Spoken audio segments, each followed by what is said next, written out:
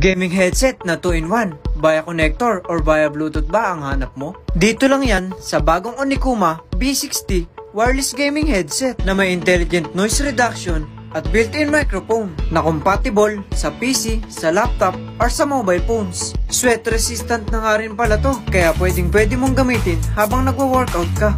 Pero sana naman, hindi mag-amoy maasim.